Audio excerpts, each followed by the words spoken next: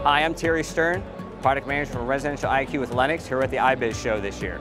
I'm going to walk you through some of the basics with IAQ. The first thing you want to do is source control. You want to control anything that comes into the home. Then you want to have ventilation, proper ventilation using either an ERV or an HRV to bring in air exchange. Once you bring the air in, you need filtration to catch anything that's in that air, and the step up from that would then be purification above the filtration. Just a little demo about how systems work. An existing home without any filtration, you're gonna have pressure on the system, so air is flowing through the system. Most homeowners, if there's no filtration within the home, will go out to Home Depot or Lowe's and buy a one inch filter, or most contractors put a one inch filter on the return. The problem with a one inch filter is restriction on airflow within the home. That puts added pressure on your system, can potentially reduce the life of the system, and then you got to change out these filters every month to two months.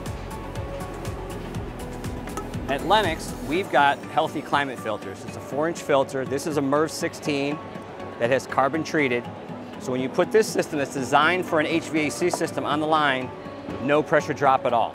You're not reducing any pressure on the system, you're not making the system work harder. Because it's a MERV 16, you're gonna filter out 99.9% of cold, influenza, and the coronavirus, along with the bigger particles of dust, pollen, and dander. Then to take it a step further, we have a MERV 16 system with a UV, and this is called our Pure Air and Pure Air S system. So it's a combination of two technologies. It's hospital grade filtration.